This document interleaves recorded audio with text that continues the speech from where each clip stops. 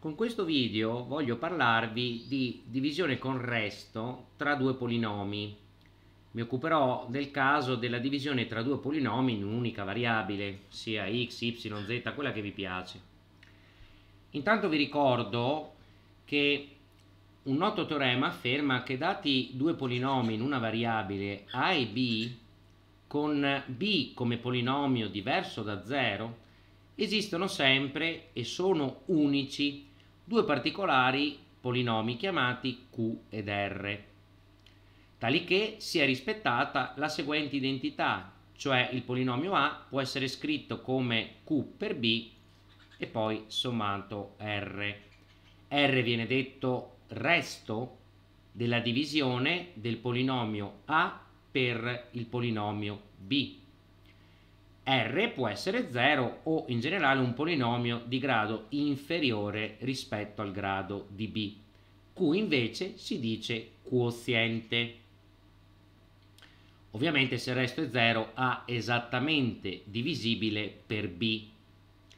Naturalmente vado a esaminare il caso in cui A abbia grado maggiore o uguale a quello di B uno si può chiedere, beh, eh, non è possibile eseguire la divisione nel caso in cui A abbia un grado inferiore rispetto a quello di B? La risposta è sì, è possibile, ma ovviamente ci va a ricadere in un caso banale, è quello in cui il quoziente va a essere 0 e il resto è esattamente pari al dividendo, cioè ad A. Quindi A può essere scritto direttamente come 0 volte B più A. Vediamo però un esempio di divisione tra due polinomi ho scelto il polinomio 4m alla quarta meno 2m alla terza più 3m più 2, polinomio di quarto grado nella variabile m. Qui è già scritto come polinomio ordinato. È sempre buona norma scrivere i polinomi ordinati, quindi in ordine per grado rispetto alla variabile con cui si sta operando, a cui si fa riferimento. E il divisore è 2m alla seconda più 1 questo caso il grado di A del dividendo è 4, il grado del divisore è 2. Vado alla ricerca quindi del quoziente e del resto.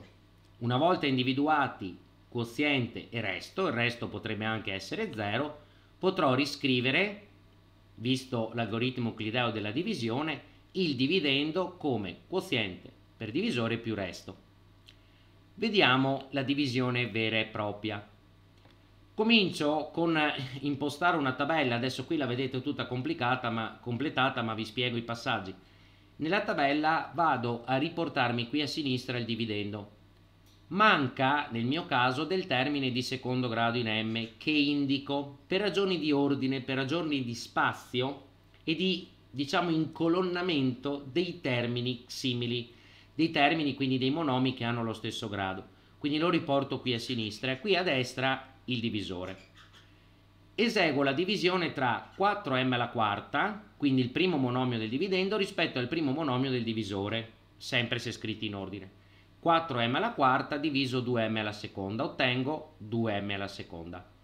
Con questo unico 2m alla seconda vado a eseguire il prodotto tra 2m alla seconda e il divisore, quindi 2m alla seconda più 1. Il risultato di questo prodotto lo andrò a scrivere cambiato di segno al di sotto del dividendo, quindi 2m alla seconda per 2m alla seconda da 4m alla quarta, cambiato di segno meno 4m alla quarta. 2m alla seconda per 1 meno 2 fa più 2m alla seconda, che scrivo cambiato di segno. Notate l'incolonnamento, come dicevo, i due termini di secondo grado. Vado a eseguire la somma algebrica in colonna non ho più termini in m alla quarta, meno 2m alla terza rimane tale, 0m alla seconda meno 2m alla seconda meno 2m alla seconda e riporto 3m più 2. Notiamo che questo polinomio di terzo grado ha grado maggiore o uguale del divisore. La divisione quindi non è conclusa, tratto questo polinomio come nuovo dividendo e vado a proseguire, come prima, come sopra meno 2m alla terza diviso 2m alla seconda dà meno m. Prendo meno m e lo moltiplico per i due termini del divisore. Quindi meno 2m per 2m alla seconda dà meno 2m alla terza. Lo scrivo cambiato di segno. Meno m per più 1 meno m. Cambiato di segno più m. scritto volutamente sotto il termine 3m con lo stesso grado. Eseguo la somma algebrica. I termini in m alla terza vanno via, meno 2m alla seconda viene riportato, 3m più m da 4m e riporto il più 2. Grado 2. Questo non è ancora il resto, perché in questa posizione andremo a ritrovare il resto, è di secondo grado. Un secondo grado è ancora divisibile per quel, questo binomio di secondo grado. Quindi proseguo con la divisione. Quando mi andrei ad arrestare? Nel mentre che trovo che il possibile nuovo dividendo ha grado inferiore rispetto al divisore. Quindi in questo caso proseguo. Come sopra, meno 2m alla seconda diviso 2m alla seconda mi dà meno 1. Non tocco gli altri termini, eseguo il prodotto e poi cambierò di segno. Meno 1 per 2m alla seconda meno 2m alla seconda, cambiato di segno 2m alla seconda.